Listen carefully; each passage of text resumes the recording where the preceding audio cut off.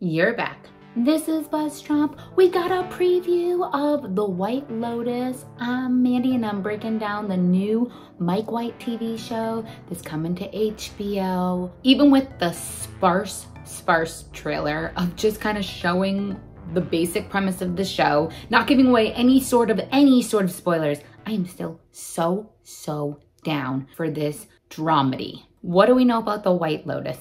We know that it's a new miniseries. This looks good. I can't tell what it's about. It has a stellar, stellar cast. Steve Zahn and Connie Britton are playing a married couple and they bring their daughter and their daughter's friend on vacation to this Hawaiian hotel. I'm assuming it's called the White Lotus. There's a married couple whose mother crashes their honeymoon, played by Molly Shannon amazing. Jennifer Coolidge is playing one of her very, very interesting characters that she plays. From the trailer, all we can really tell is she has a fabulous massage and now she's befriended the masseuse. First I was like, is this a murder mystery? Is somebody on the run? With Steve Zahn in it, I'm like, is this like perfect getaway? You know, his fabulous, fabulous other Hawaiian movie that he's done. I like TV shows that, that, that does this. I mean, it guess technically it's a mini series in six parts and we really, really can go anywhere. This could be a show where the hotel staff gets disgruntled. In the beginning, they're like, this is paradise, paradise. The hotel staff could get disgruntled and run some weird, weird, trippy, crazy intense things and have some secrets. Maybe somebody disappears. Maybe there's a murder. Amazing. Anything can happen. Is there going to be some sleeping around? I mean,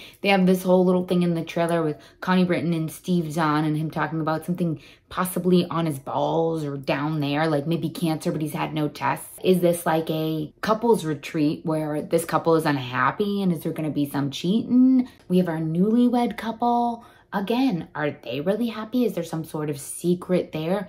So many options. It's getting me super excited for the show. The White Lotus, so damn excited to watch this show. It seems hilarious and funny. The fact that there's no real details, freaking fabulous.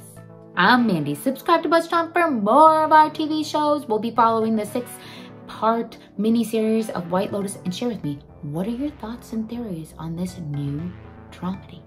Yeah, kids? Yeah.